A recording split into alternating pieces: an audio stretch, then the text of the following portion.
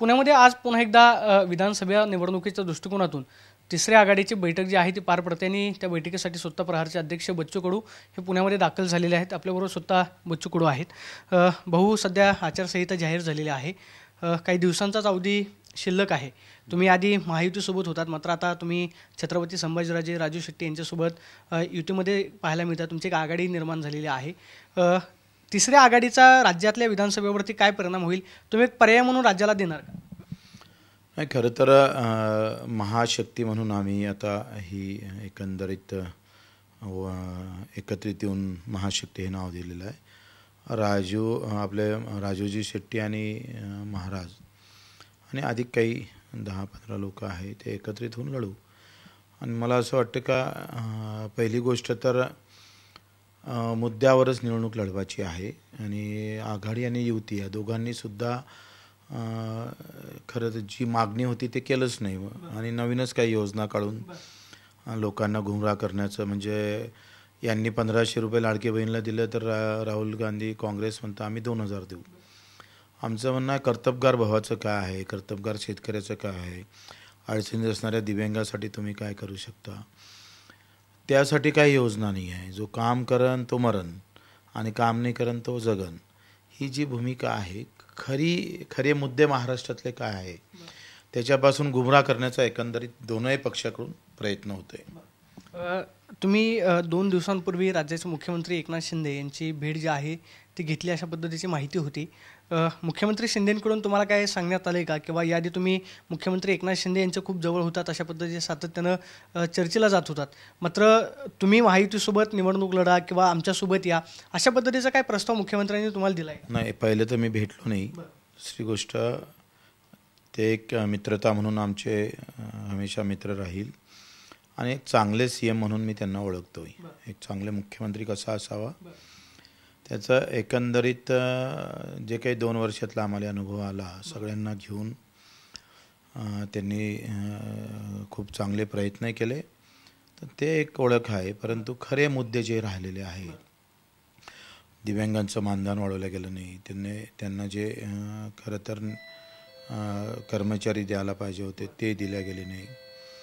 घरकुलाचा प्रश्न असेल शेतीमालाचे भाव असेल किंवा पेरणी ते कापणीपर्यंत सगळे कामं असेल हे यावर सगळं दुर्लक्ष झालं आहे. तुम्ही याआधी सो महायुतीसोबत होतात म्हणजे आता बच्चू कडू महायुतीतून बाहेर पडले तसं स्पष्टपणे आम्ही म्हणायचं का? किंवा तुम्ही ज्या महाशक्तीच्या माध्यमातून निवडणूक लढवणार आहात तर तो पर्याय नक्की महायुती आणि त्याचबरोबर महाविकास आघाडीसमोर तुमचा कसा असेल? नाही महाशक्ती हा दोघांनाही पर्याय देईल व्यवस्थित. आघाडी आणि युतीमध्ये ज्याची उणीव आहे जे सरकारला द्या खरं तर लोकसंपर्कामधून जे काही विषय यायला पाहिजे लोकांच्या भावना ज्या आहेत त्या आम्हाला देण्याचं खरं तर आम्ही प्रयत्न करू.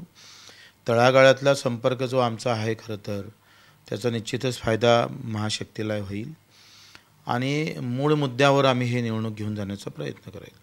सगळ्यात महत्त्वाचं तुम्ही आता बोलताना असं म्हणालात की राज्याचे मुख्यमंत्री एकनाथ शिंदेंचं मुख्यमंत्री म्हणून काम चांगलं आहे. म्हणजे एक चांगले सी एम म्हणून मी त्यांना पाहिलेलं आहे.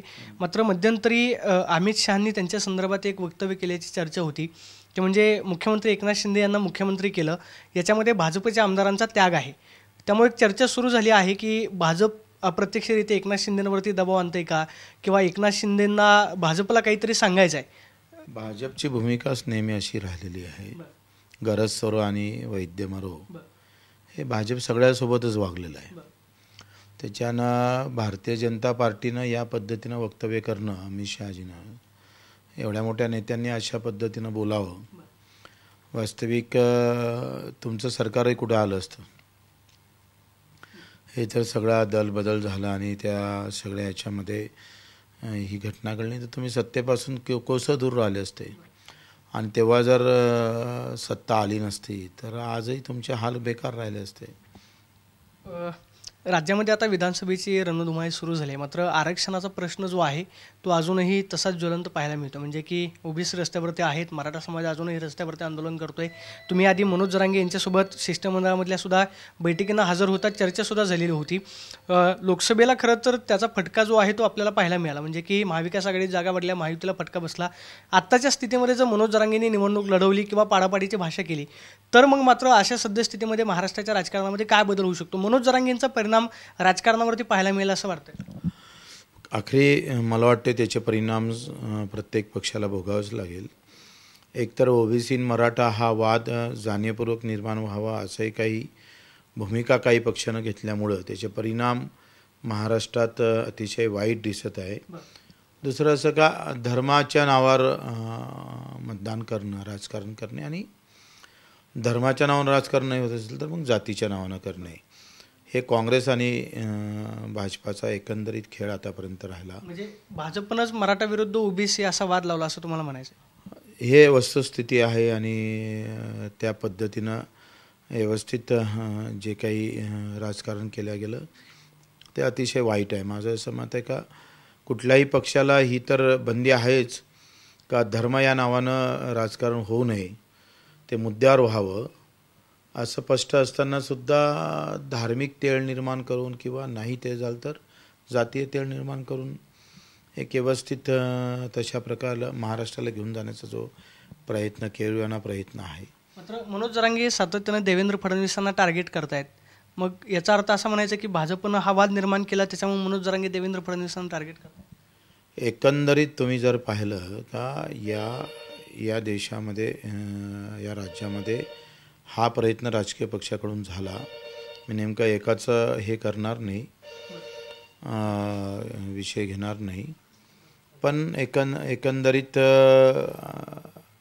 लोकांना माहीत आहे एकदम आरोप एकावर करणं ते उचित राहणार नाही.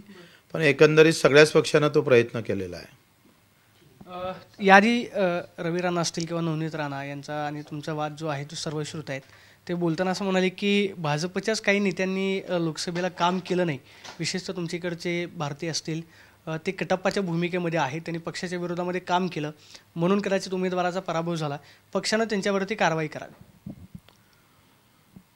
पक्ष कारवाई आता तो भाजप काही रवी राणाच्या म्हटल्यानुसार तुषार भारतीवर कारवाई करणं असं काही चित्र नाही आहे आणि मला वाटते भाजपच्याच लोकांनी त्याला पाडलेलं आहे. कारण कोणासोबत पटून न घेणं. आणि त्याचे परिणाम आहे. स्वतःच्या स्वभावामुळे मी मागे म्हटलं होतं का नवनीत राणा जी खासदार होऊ नये हे रवी राणाच्याच मनामनात होतं आहे आणि त्याच्यामुळे हा परा पराभव झालेला आहे. रवी राणाला नको होते खासदार नवनीत राणा म्हणजे घरामधल्याच अंतर्गत वादामुळे सीट पडलं. एकंदरीत तसंच आहे. कसं आहे का आपल्याला खासदारकी लढायची आहे. तर एक वर्षापासून आपण प्रयत्न करतो वाद असेल ते मिटवायचा प्रयत्न करतोय. राणानं हे जाणीवपूर्वक वाद वाढवलेले आहे लक्षात घ्या. वर्षभरात सगळ्यांसोबत वाद तयार केले. लोकसभेमध्ये हे लोक कोणी कामच करणार नाही. अशी एकंदरीत भूमिका राणाची होती. आणि त्याचे परिणाम नवनीत राणावर पडले. आगामी विधानसभा म्हणजे आता ही सगळी रणधुमाळी सुरू झालेली आहे. महाशक्ती म्हणून राज्यामध्ये तुम्ही विधानसभेच्या किती जागा लढवणार आहात? त्याचा परिणाम नक्की काय पाहायला मिळेल? दुसरीकडे शरद पवार असं म्हणतात की राज्यामध्ये परिवर्तन होईल महाविकास आघाडीचं सरकार येईल. तुम्हाला तसं वाटतंय की राज्यामध्ये महाविकास परिवर्तन याला म्हणतात नाही. पवार साहेब परिवर्तन काय म्हणतं? जेव्हा नवीन कोणी येतंय. तुम्ही येणं म्हणजे परिवर्तन कसं आहे? पवार साहेब किंवा काँग्रेस किंवा शिवसेना उद्धव साहेबांची आली. म्हणजे परिवर्तन कुठं आहे? हे तर पहिलेच होतं. आम्ही आलो म्हणजे परिवर्तन. पवार साहेब बरोबर बोलले का महाशक्ती येईल आणि हे परिवर्तन होईल. म्हणजे पवारसाहेब सातत्यानं आत्मविश्वास व्यक्त करतायत की राज्यातलं सरकार जे आहे ते चुकीच्या मार्गावरती आहे आणि ते सरकारला आम्ही सत्तेतून बाहेर काढणार जर कदाचित महाविकास आघाडीनं बच्चू कडून ऑफर दिली किंवा जर तिसऱ्या महाशक्तीसोबत जर कदाचित येण्याची ऑफर दिली तर तुम्ही ती स्वीकाराल आता ते वेळ राहिली नाही. आम्ही बरेचदा प्रयत्न पण केला. पण ते सा साध्य झालं नाही. त्याच्यानं ते वेळ आता निघून गेलेली आहे. म्हणजे निवडणुकीच्या निकालानंतर काय होऊ शकतं? ते आता सांगता येणार नाही काही. किती जागा लढवणार विधानसभेच्या राज्यामध्ये? तुम्ही महाशक्ती म्हणून किती जागांवरती आज बैठक आहे. आज ठरवू. म्हणजे जास्तीत जास्त जागा लढवण्याचा प्रयत्न नक्की. तुमच्या विशेषतः विदर्भातल्या स्वतः तुमचा प्रहार पक्ष जो आहे तो किती जागांवरती तयारी करतोय? कारण याआधी तुमचे जवळपास दोन ते तीन आमदार होते. आत्ता राज्यामधलं जे चित्र बदलले म्हणजे पक्षांमध्ये फोडाफोडी झाली महायुती महाविकास आघाडी वेगळे आहे तुम्ही महाशक्ती म्हणून पुढे येत आहे.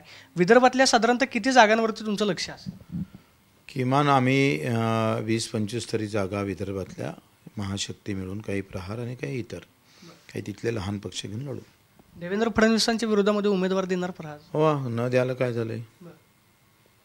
आमच्यासाठी कोणी फडणवीस नाही कोणी राजकारणात उतरल्यावर तो काही विषय नाही आहे राजकारणात दुश्मन छोटा और बळा नाही होता. त्याच्यानं त्याचं काही न द्यायचं काय कारण? म्हणजे ते दिलंच पाहिजे. आणि व्यवस्थित देऊ त्यांना पाळणारा उमेदवार देऊ. म्हणजे फडणवीसांना पण पाडण्याच्या ताकदीचा उमेदवार तुमच्याकडून. हां बिलकुल. तर आपण पाहतोय की हे होते बच्चू कडू ते सांगतात की आज पुण्यामध्ये जी महाशक्तीची बैठक होती त्या बैठकीसाठी आम्ही आलेलो आहोत. जास्तीत जास्त जागा लढवण्यावरती आमचा भर अशा अशा प्रतिक्रिया बच्चू कडूंनी दिल्याचं पाहायला मिळते. Cameraperson Tushar Sonavi Pradeep Kapse T V nine Marathi Pune.